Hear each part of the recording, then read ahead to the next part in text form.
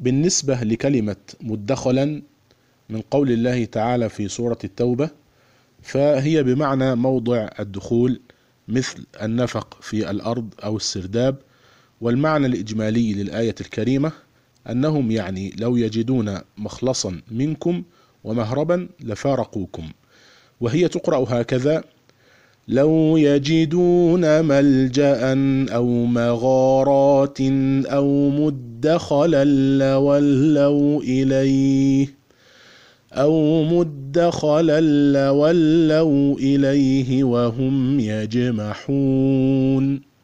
وطبعا فيها قراءة بالتخفيف مدخلا وهي قراءة يعقوب والله تعالى أعلى وأعلم.